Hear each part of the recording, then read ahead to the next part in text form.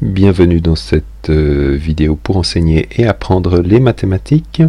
On présente ici le troisième et dernier exemple de situation dans lesquelles, étant donné une fonction f euh, représentée graphiquement, on s'intéresse à représenter sur le même repère une primitive donnée. Voilà donc euh, une représentation graphique d'une fonction f un peu bizarre, ce qu'on appelle une fonction définie par morceau, un bout linéaire, un bout linéaire, un constant, un bout plutôt type parabolique. Et la consigne est la suivante. Il s'agit de représenter graphiquement la fonction grand f donnée par grand f de x, donc est égal à l'intégrale de 1 à x de f de t dt primitive issue du théorème fondamental 1 du calcul différentiel et intégral, mais ceci est une autre histoire. Donc toujours, toujours la même approche. Identifions d'abord que ici il y a un choix de borne inférieure qui vaut 1, qui nous permet très facilement de déduire que si je cherche à calculer l'image de 1, ça nous donnera l'intégrale de 1 à 1 de f de t dt, c'est-à-dire bien sûr 0. Donc ce point-là du graphe de grand F est très facile à poser. Maintenant, que se passe-t-il si par exemple je veux calculer grand f de 2 bah, Grand f de 2 sera l'intégrale de 1 à 2 de f de t dt. Alors, comment interpréter cette valeur? Ben, Je vais de 1 à 2, je regarde la courbe de f, et notre interprétation géométrique du calcul d'intégrale nous dit qu'il s'agit de considérer cette surface, donc entre la droite x égale 1, x égale 2, l'axe OX et la courbe de f. Donc je considère cette surface, je m'intéresse à son aire, mais son aire algébrique, à savoir que si les valeurs concernées de f sont négatives, j'obtiens avec l'intégrale une aire avec signe une aire négative. Donc il s'agit de calculer cette aire avec signe négatif, puisque je suis dans les valeurs négatives pour f. Donc 1 fois 1, cette, valeur, cette intégrale vaut moins 1. Si j'étais allé, non pas jusqu'à 2, mais jusqu'à 3, ici, j'aurais eu l'intégrale de 1 à 3, j'aurais donc eu ici cette surface, dont l'air vaut 2, mais algébriquement, en termes d'intégrale, elle vaudrait du coup moins 2. Ce qui veut dire que l'image par grand F de 2 est égale, on vient de le voir, à moins 1, et l'image par grand F de 3 est égale à moins 2. De façon plus dynamique, on se rend compte que si on fait parcourir à x les valeurs qui vont de 1 jusqu'à 3, la quantité d'air verte ici qui s'ajoute peu à peu, s'ajoute de façon tout à fait linéaire. Donc on a bien ici une fonction grand f qui est linéaire sur ce bout-là. Ouais, enfin, je devrais peut-être être un peu plus précis dans le vocabulaire. Une fonction linéaire est une fonction représentée par une droite qui passe par le point 0, 0. Donc ici, évidemment, ce bout de droite bleue ne passe pas par 0, 0, donc elle est linéaire dans le sens où euh, c'est représenté par un bout de ligne. Mais au niveau du vocabulaire mathématique, on parlerait plutôt ici de fonctions affines. Les fonctions affines sont représentées par des droites qui ne passent pas par le point 0, pas forcément par le point 0, 0, et, et les fonctions linéaires passent toutes par le point, l'origine 0, 0, donc un bout affine. Maintenant, que se passe-t-il si je peux continuer à considérer des valeurs de f, euh, pour f, des valeurs injectées dans f, dans grand F, des valeurs qui sont plus grandes que 3 On se rend compte ici que la quantité d'air qu'on va commencer à ajouter, alors d'un seul coup, il y a un accroissement, hein, la quantité d'air que je commence à ajouter est de plus en plus grande. Ceci, si par exemple je calcule grand F de 4, maintenant, si ici je calcule non pas grand F de 3, mais grand F de 4, bah, je vais avoir l'intégrale de 1 à 4, et l'intégrale de 1 à 4, c'est la quantité d'air ici assurée en vert. Cette quantité d'air est approximativement égale à 1, 2, 3, un peu moins de 4, toujours avec valeur négative. Donc je me rends compte que je ne vais pas avoir suffisamment de place, donc j'ai fait un petit zoom un peu arrière, là, une petite euh, bricolage pour euh, pouvoir descendre plus bas. Donc on disait ici je suis f de 4 environ à 3,7 avec un signe négatif, donc je dois placer ici l'image de 4 qui est à peu près disons, par là. Puis maintenant, alors toute cette zone, c'est clairement d'un niveau de difficulté un peu plus important. Donc euh, je ne serai pas avec mes élèves trop exigeant sur ce type de comportement. C'est vraiment pour voir qu'on peut explorer les choses de façon assez, assez fine. Mais voilà, ne stressez pas trop si vous avez l'impression que cette partie devient un peu compliquée, c'est tout à fait le cas. Je continue mon exploration un peu dynamique, je continue à ajouter de l'air.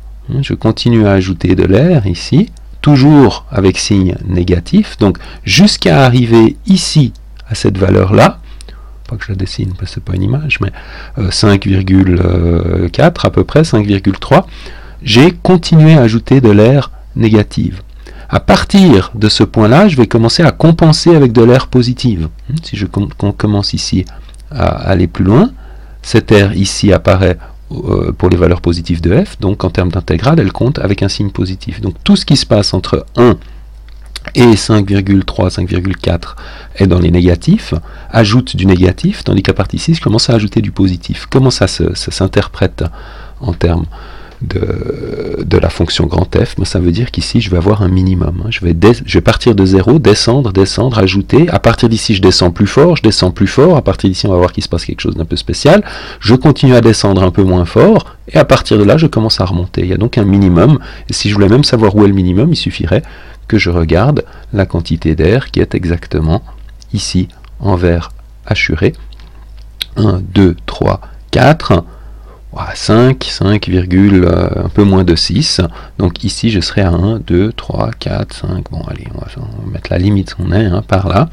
Et à partir de là, je commence à remonter. Et à un moment donné, quand j'aurai ici ajouté suffisamment d'air pour que l'air ici positif compense exactement l'air assuré verte, j'aurai de nouveau, alors on peut imaginer que c'est à peu près par là, j'aurai de nouveau un 0. Donc je vais remonter, c'est en bleu, remonter partir du minimum, ici, traverser l'axe des x qui vaut 0, et j'ai ma fonction grand F qui continue là. Maintenant, qu'est-ce qui se passe ici?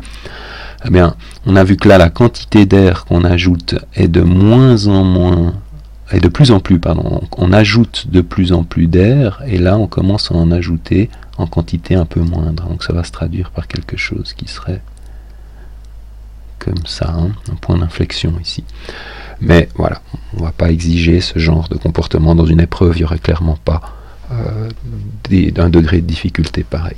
Par contre, ce qui se passe sur la gauche, ici, c'est exactement le même principe, à savoir si je voulais par exemple calculer l'image de 0, ou, ou, estimer ce qui se passe en 0, ce serait l'intégrale de 1 à 0 de la fonction f de t dt toujours, mais attention, je parcours l'axe dans le mauvais sens. Hein. L'axe est un axe orienté ici. Donc si je fais une intégrale allant de 0, pardon, je suis ici, de 1 à 0, je vais dans le mauvais sens et on a vu qu'on pouvait corriger le sens des bornes pour aller dans le bon sens, mais que pour ceci, il fallait changer le signe. Donc, si maintenant j'enlève euh, ceci, je ne peux plus l'enlever là, donc tant pis, on va le laisser. Euh, si je regarde ce qui se passe, on va prendre une autre couleur. On va prendre du... Qu'est-ce qui me reste comme couleur? Du bleu ciel. Voilà. Hein, si je regarde l'intégrale entre 0 et 1, ben, c'est la quantité d'air qui est ici. Alors attention, cette quantité d'air mesurée par une intégrale, donc d'air algébrique, puisque je suis dans les valeurs négatives, devrait être négative. Mais comme je dois corriger le signe ici, négatif et négatif, ça devient positif. Donc l'air de ce petit morceau bleu ciel vaut une demi, négatif parce que je suis en dessous, et rechangement de signe à cause du mauvais sens de parcours de l'axe, donc négatif, négatif, positif, une demi, je suis en bleu cette fois-ci, ici. Euh, pardon, là. Qu'est-ce qui se passe maintenant si je vais de 0 non plus à 1, mais de 0 à 2 hmm, Alors de 0 excusez-moi, c'est pas du tout de 0 à 2, c'est je pars toujours. On recommence, pardon, on efface. Je m'intéresse maintenant à savoir ce qui se passe pour moins 1. Donc je veux calculer grand F de moins 1, qui est défini comme étant l'intégrale de toujours 1 jusqu'à moins 1. Donc même chose que tout à l'heure, je vais dans le mauvais sens, donc je change. Je vais de moins 1 à 1. Ça m'oblige à corriger le signe. Ce qui n'est pas très pertinent, on va dire, dans ce cas-là, puisqu'on se rend compte que de toute façon, en termes d'intégrale, le petit triangle d'air négatif ici est compensé par le petit triangle d'air positif ici. J'ai donc obtenu 1, 0 de la fonction grand F qui continue comme ça, et vous devinez ce qui va se passer. Ensuite, faites attention de ne pas aller trop vite quand même. On se rend compte bien sûr que si je continue jusqu'ici, j'ai cette fois-ci un grand triangle d'air positif compensé avec un petit triangle là et un petit triangle là. Normalement celui-là devrait arriver positivement et ces deux-là compenser négativement. Comme je parcours dans le mauvais sens, en fait c'est le contraire. Celui-là amène un bout négatif et ces deux compensent positif. Mais enfin c'est pas très important puisque le tout fait 0. J'ai de nouveau un 0 ici. Et si maintenant j'allais seulement jusqu'à moins 2, je peux faire aussi les choses un peu plus tranquillement. Si je vais jusqu'à moins 2, je vais de 1 à moins 2. Je vais enlever celle du dessus là qui n'est plus utile parce qu'elle nous permet, nous cache un peu les choses. Donc, je vais de 1, enlever ça, voilà. Je vais de 1 à moins 2, c'est la même chose que moins l'intégrale, bien sûr, de moins 2 à 1. Si je vais de moins 2 jusqu'à 1.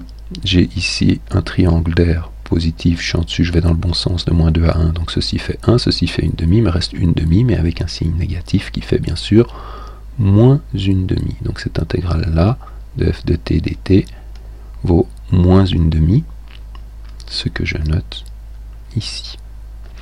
Et puis quand je continue ici, eh ben, je commence à ajouter de l'air négatif, sauf que je vais dans le mauvais sens, donc elle devient positive et on comprend pourquoi ça va monter. Donc finalement, voilà, oulala, là là, le graphe de ma fonction grand F. Je vous rappelle qu'il y a deux autres vidéos qui présentent des exemples nettement plus simples. Euh, celui-ci est quand même un petit peu olé olé. Dernière remarque, on aurait pu poser donc comme première question représenter graphiquement la fonction définie, la primitive grand f de petit f définie par l'intégrale de 1 à x de f de t dt. Et souvent dans ce type d'exercice, dans les épreuves, on va vous dire b représenter graphiquement une autre primitive qui serait par exemple grand g définie par l'intégrale de 0 à x de f de t dt. Alors, question, est-ce qu'il s'agit de refaire 10 euh, minutes d'exploration pour avoir un graphe aussi compliqué, ou est-ce qu'il y a un moyen de faire plus simple? Ben, La réponse c'est qu'il y a un moyen de faire beaucoup plus simple, mais pour ceci, on commence par faire un peu de ménage. Voilà, le ménage a été fait un peu euh, à la va-vite. Il nous reste sur le graphe la fonction euh, petit f de départ et la fonction grand F, la première primitive qu'on a trouvée. Maintenant, la fonction grand G, a priori, on commencerait de la même façon, c'est-à-dire qu'on se dirait la fonction grand G est définie comme une intégrale de 0 à x, donc il est clair qu'il est très facile de calculer grand G de 0 qui est égal à 0. Donc grand G de 0 est ici. La fonction grand G passe par ce point. On pourrait exactement de la même façon avoir une approche dynamique point par point pour représenter graphiquement G. Mais ce qui est très important ici, c'est de se rappeler que grand F et grand G sont deux primitives d'une même fonction petit f. Or, nous savons, c'est un théorème, que toutes les primitives d'une fonction donnée diffèrent toujours d'une constante. Et graphiquement, donc ça veut dire que si la, fonction grand f et la fonction grand g ne peuvent différer que d'une constante. Hein, ça s'exprime comme ceci, hein, grand f de x moins grand g de x est égal à une constante. Théorème relation entre toutes les primitives d'une fonction donnée. Mais cette constante, graphiquement, eh bien, on la voit cette constante, elle est ici graphiquement. C'est simplement la différence qu'il y a. Je connais grand F qui est ici, grand F de 0, c'est ce point-là, une demi, on avait calculé, et grand G de 0 qui est une demi. Ça veut dire que cette constante qui est ici va être la même pour toutes les valeurs possibles de x. Toute valeur possible de x va différer de la même constante. Hmm, je peux la dessiner comme ça. Ce qui veut dire qu'en réalité, c'est une propriété euh, graphique des primitives d'une même fonction donnée, ah ben, elles sont simplement une translation verticale l'une par rapport à l'autre, et donc que le graphe de la fonction g sera simplement une translation du graphe de la fonction grand f. oups, j'ai été un peu 8. ça va monter un peu comme ça. On a ici la même chose, dans laquelle on retrouve toujours notre constante qui vaut une demi, hein, ici. Elle vaut une demi parce que ici on connaissait l'image grand F de 0 fait une demi, grand G de 0 fait 0, la différence entre les deux fait une demi, et la constante est la même pour toutes les valeurs de x. Donc on obtient à très moindre coût une représentation graphique de la deuxième primitive sans avoir besoin de refaire toute la construction qui était tout de même passablement laborieuse. Voilà. Je vous remercie de votre attention. Nous nous intéressions à la question de représentation des primitives de façon exclusivement, essentiellement graphique. À bientôt. Je rappelle qu'il existe deux autres vidéos qui présentent des, exemples du même type, mais un petit peu plus simple, plus typique de ce qu'on est susceptible de retrouver dans une évaluation.